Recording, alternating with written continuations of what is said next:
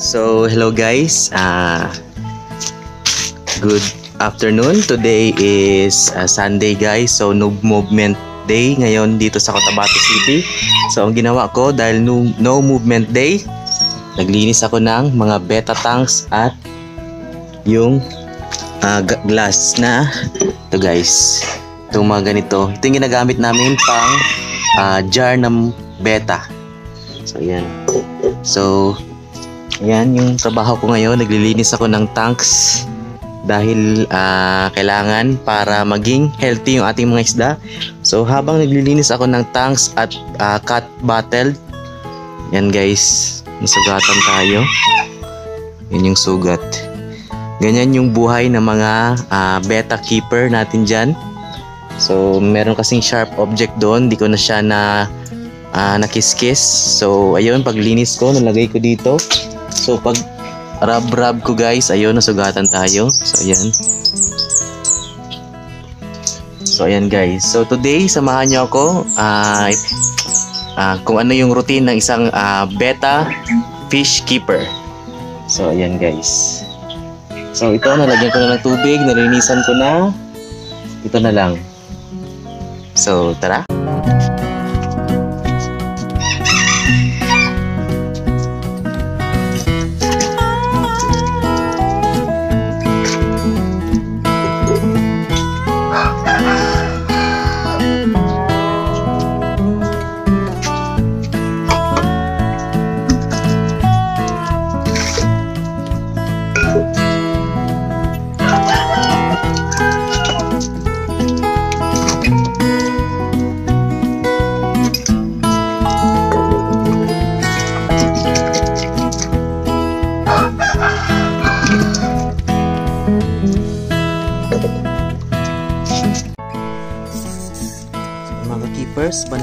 Natin.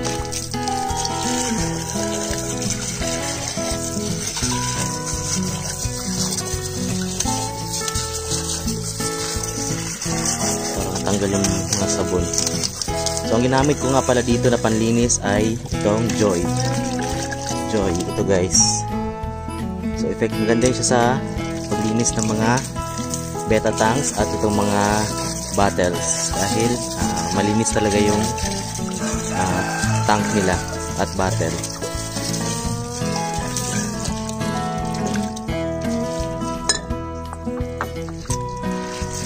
Ayan, paigayin natin para matanggal yung sabon.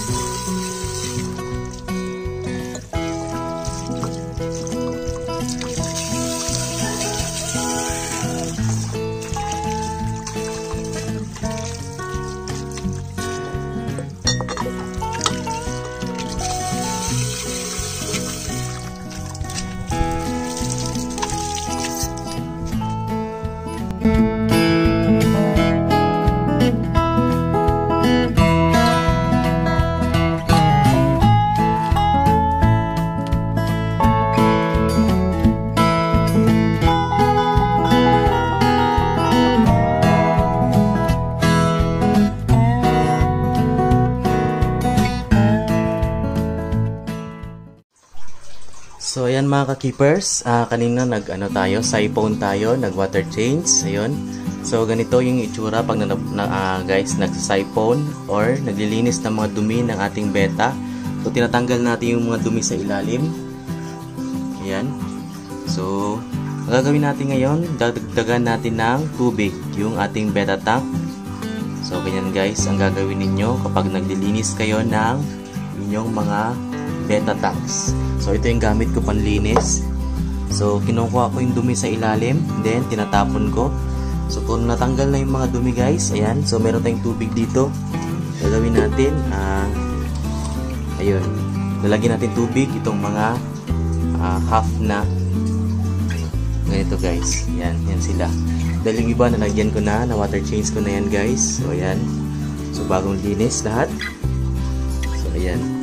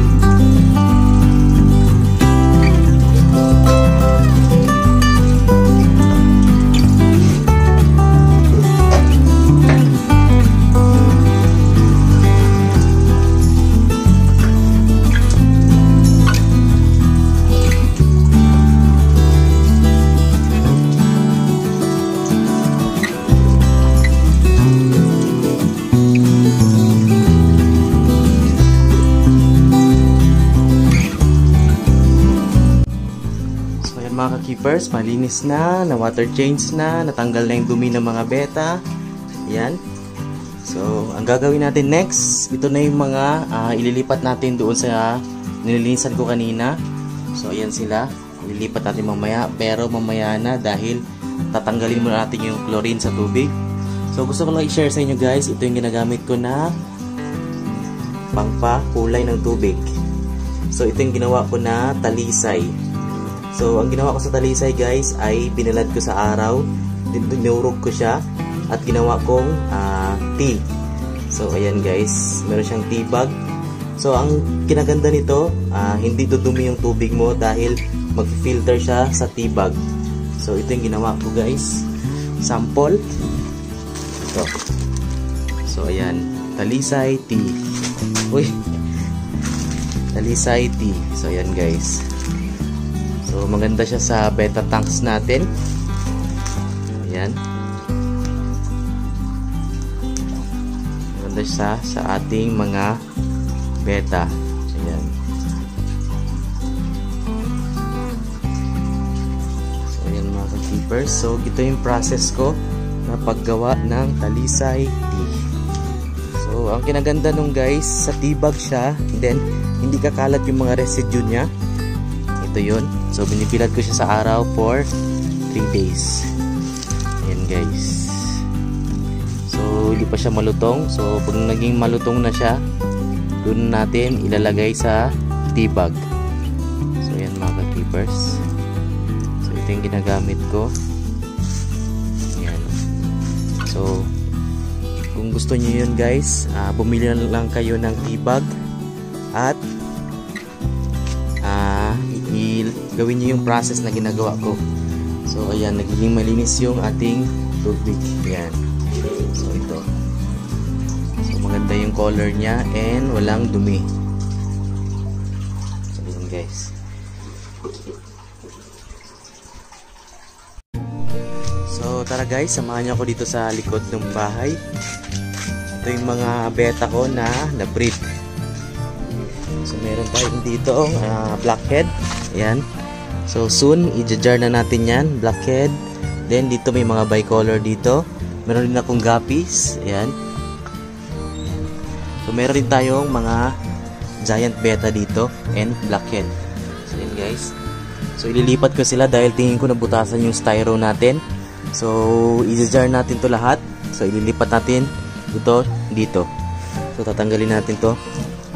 So guys, so ayan.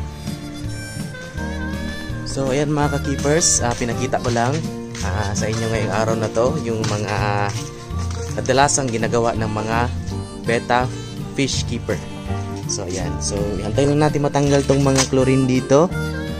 Then after, lipat natin yung mga isda doon na pinakita ko kanina guys sa inyo dahil uh, kailangan nila ng water change dahil madumi na. So dito natin sila ilalagay.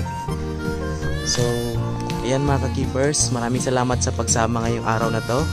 Bigla ang vlog lang kay gusto, dahil gusto ko lang mag-share sa inyo ng mga tips at sikreto na ginagawa ko. Lalo na yung talisay na tea. Talisay tea yung tawag ko dahil nilagay ko siya sa isang tea bag. So naobserbahan ko maganda yung paglagay sa tea dahil ay hindi siya nagkakaroon ng residue sa tubig na nagkakos ng dumi sa ilalim ng tanks So, ayun mga keepers. So, gawin nyo lang yung process na yon para uh, maging okay yung ating uh, pag-alaga sa ating mga beta. So, importante yung talisay guys dahil nagbibigay siya ng uh, vitamins sa ating mga beta at uh, protection na rin sa sakit. So, ayan mga keepers.